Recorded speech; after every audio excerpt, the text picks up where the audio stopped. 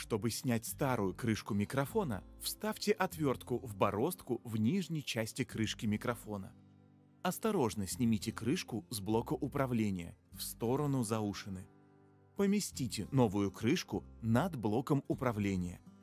Начиная со стороны заушины, прижмите крышку на место до щелчка.